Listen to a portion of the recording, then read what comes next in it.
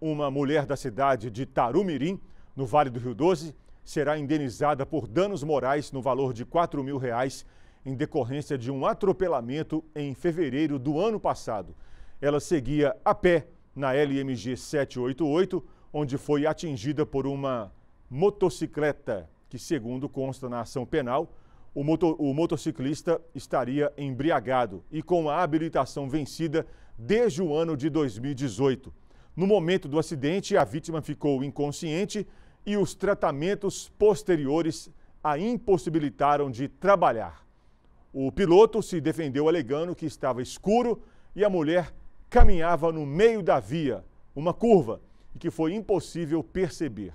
Ela já havia recebido uma indenização de R$ 4.900 por danos materiais e com a atual decisão, resultado a uma ação de segunda instância, será indenizada em mais 4 mil reais por danos morais.